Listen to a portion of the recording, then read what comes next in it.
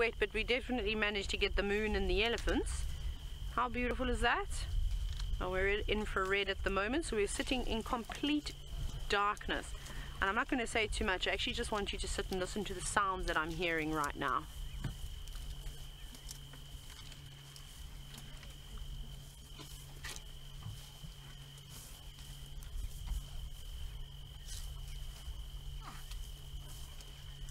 Now imagine, picture yourself in my shoes. I can barely see anything. I can see the silhouettes of the elephants when I look at them with my eyes. But it's just amazing to take your sight away and just be able to listen to the beautiful sounds out there. And that's something that you can only get on safari if it's pitch black or if you close your eyes, of course. But it is amazing to use your hearing out here. Isn't that cool? The same herd that we've been following for pretty much the entire day. The same ones we've seen on the dam cam.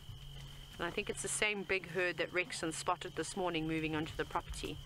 And I really hope that they do decide to hang around and spend the day up here for the sunrise safari. How great is that? We're so lucky. We've seen so many amazing things, but I'm going to send you across now to Ali for the final moments of the show with our young Prince Hosana.